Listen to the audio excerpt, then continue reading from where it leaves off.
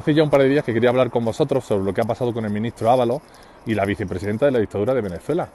Y es que me parece uno de los hechos más graves de los que ha formado parte un miembro de este gobierno desde que estamos en democracia.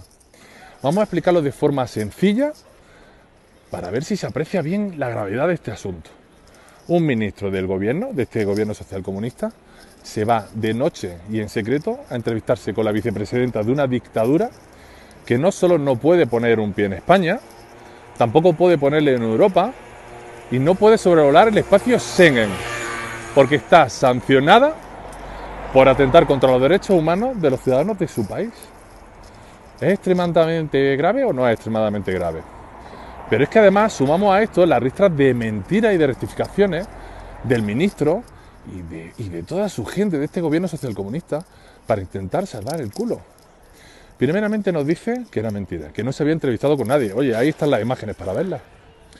Segundo nos dice que bueno, que fue a entrevistarse con alguien, pero ese alguien era el ministro de Turismo, que era amigo suyo. Tercero nos dice que bueno, que sí es verdad que vio a la vicepresidenta de esta dictadura venezolana, decir Rodríguez, pero que fue un saludo protocolario. Como cuarta versión nos dice que sí, que se entrevistó con ella eh, durante una hora y media, lo que ha cambiado el cuento.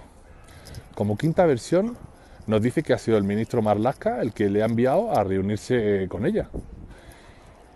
Y como es esta versión, nos dice, bueno, que sí, que vino, que se reunió, pero que no pisó solo español, porque sí es verdad que bajó a la zona VIP del aeropuerto, pero como no le sellaron el pasaporte, ay amigo, no pisó técnicamente solo español. Como último, el presidente del gobierno, Pedro Sánchez, intentando eh, salvar la situación, nos dice que el ministro Ábalos lo que ha hecho ha sido salvar una crisis diplomática. ¿Una crisis diplomática con quién? A mí me da la impresión que lo que ha salvado una crisis diplomática con Podemos, que posiblemente hayan sido los que hayan preparado esa reunión.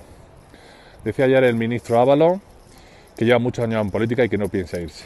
Efectivamente, señor Ábalos, por llevar muchos años en política no hay que irse.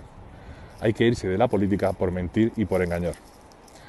Señor Ábalos, dimita.